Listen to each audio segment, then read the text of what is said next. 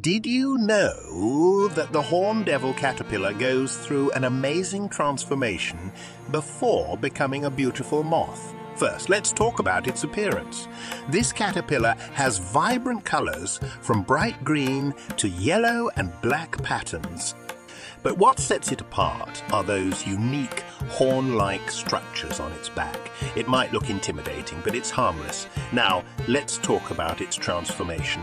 After feasting on leaves and growing bigger, the caterpillar forms a cocoon called a pupa. Inside this protective casing, a magical process begins. As days pass, the caterpillar undergoes a remarkable metamorphosis. Its body breaks down and rearranges itself, giving rise to the incredible beauty hidden within. Finally, after a few weeks, a stunning moth emerges from the cocoon. With beautiful wings and graceful flight, it's hard to believe